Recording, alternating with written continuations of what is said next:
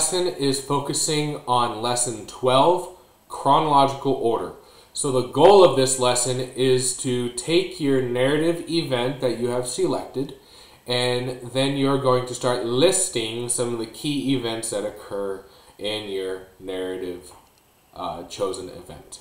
Okay, so we're going to dive straight in. Um, we're kind of looking at this chronological order assignment, kind of similar to that of a plot chart. So I'm going to be referring and referencing to a plot chart through this particular lesson.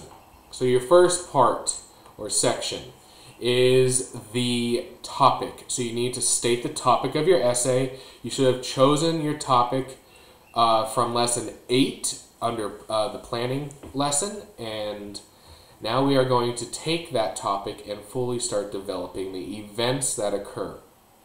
So with the term chronological, we want to make sure that we are actually paying attention to the fact that we are putting our events into timeline um, format, meaning that the first thing that happens you put first, the middle thing that happens you put in the middle, the last thing that happens you put at the end.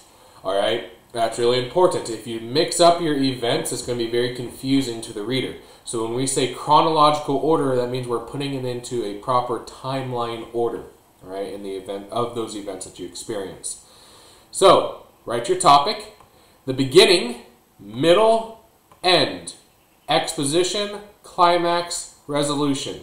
So when referring to a plot chart, that's how this kind of works out with a narrative essay. So as you note that this format is very different than that of what we have done with academic writing, such as argumentative writing or um, exposition or, or explanatory writing. So what narrative writing does is it breaks the boundaries of your formulaic academic writing. So instead of having an introduction, three body paragraphs, and a conclusion, we instead have a beginning, a middle, and an end. And these are kind of, of like chunks of your essay. So instead of forcing you to write one paragraph that's the introduction, we chunk the introduction and we kind of call it the beginning. So that means you could take between one to three to even maybe four or five paragraphs for your beginning. Honestly, I'd probably recommend between one and four paragraphs being your beginning. All right. Um, so it's just the things that occur toward the beginning of your story. The middle can range between one to five to seven to eight paragraphs long. All right, and that is what happens right in the middle of your essay.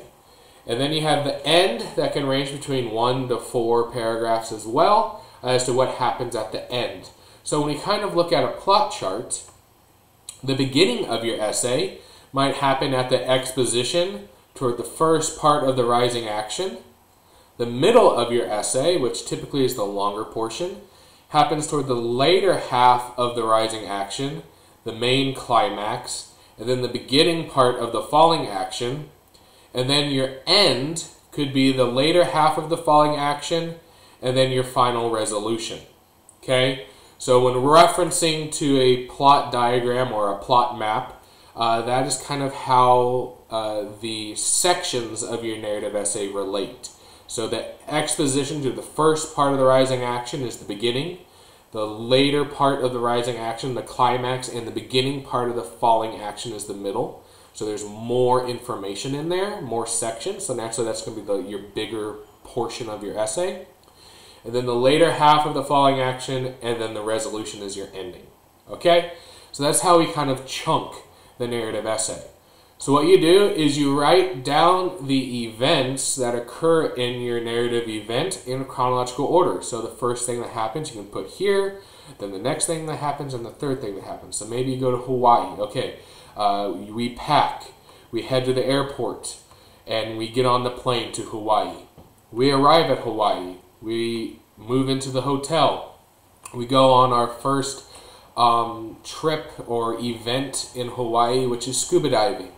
Uh, we put on the scuba gear. We go scuba diving and we see a sea turtle. And then maybe I put even in a sixth one that says that, you know, I swim with the sea turtle. And then maybe I do another one that says, um, you know, some of the other things that you see when scuba diving. All right? Then you move into the end. We get done with that scuba diving trip and you start reflecting on how awesome it was, maybe a lesson that you learned to, you know, live life to its fullest and really appreciate the moments uh, when they are given to you, and then that's what you put in your resolution. Okay? And then lastly, the theme is your lesson, the lesson that is learned in your narrative story. So this lesson can be as large and grandiose as some sort of philosophical lesson, you know, dawning realization moment of yours, or it can be a very small lesson that we all can relate to.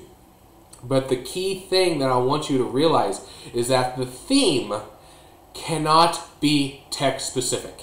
So, meaning, I don't want my theme to be of, you know, go swim with a turtle so you can live life to its fullest that is way too specific because I may not, eh, you know, go swim with a turtle, but I still want to learn the concept of live life to its fullest.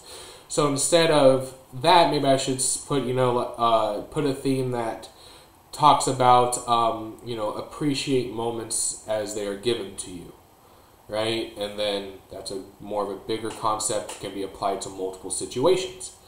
So the whole purpose of this lesson is to simply Put your events of to map out your events that occur in your story into chronological order while also identifying the theme.